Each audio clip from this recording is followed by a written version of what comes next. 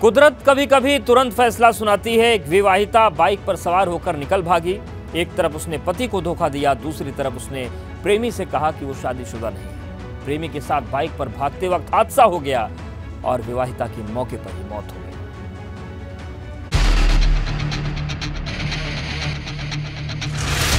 धोखे का फैसला ऑन द स्पॉट पति से धोखा, प्रेमी को नहीं बख्शा।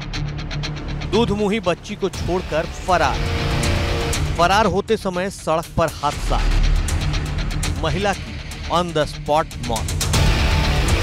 सड़क हादसे में एक विवाहिता की मौत हो गई जबकि बाइक चला रहा उसका प्रेमी गंभीर रूप से घायल हो गया। एक्सीडेंट हो गया।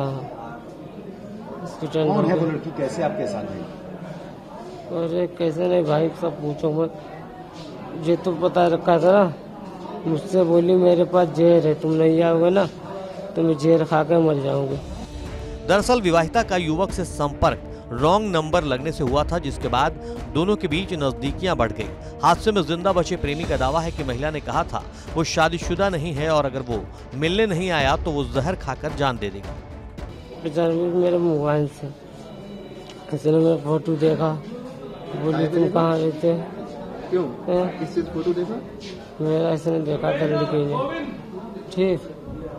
तो बोली, तुम कहाँ रहते जीते वाले? लोग मैंने बता जमका में बोली, कौन लोग? उनका बोला, संत पे उनके बाद कोरी।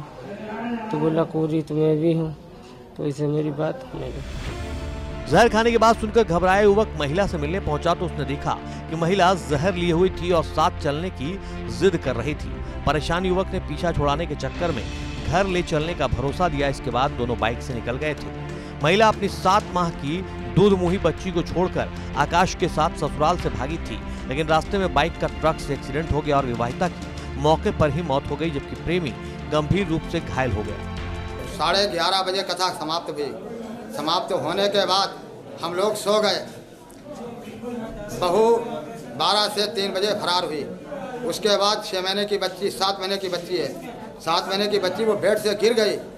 तो हम लोग जग गए जब रोई तो गिर मतलब जगे और जग कर जब देखा तो बहू का पता नहीं। उसके बाद जब फ़ोन हमारे पास पुलिस का आया कि नाम लिखाया उसमें सपना अपना। हमें पुलिस ने जो सोचना थी सपना नाम बताया। ये कौन है जो इसने अपना नाम ये हमारे कोई नहीं है ये तो ये जब ये ये तो पुलिस से अब आप ये बात पूछो पूछताछ कीजिए। नहीं तो आपकी बहू को ये लोग क्या घर से उठा कर ले गए? क्या कुछ हुआ? क्या लग रहा है आपने नहीं हमने जान नहीं पाई कितने का निकल आई आकाश को मेडिकल अस्पताल में भर्ती कराया गया है जहाँ उसका इलाज किया जा रहा है। वहीं पुलिस ने शव को पोस्टमार्टम के लिए भेजा है। इस मामले में ससुराल पक्ष के लोगों ने प्रेमी सहित अज्ञात लोगों के खिलाफ थाने में केस दर्ज कराया है। पुलिस मामले की छानबीन कर रही है। Bureau report ABP Ganga.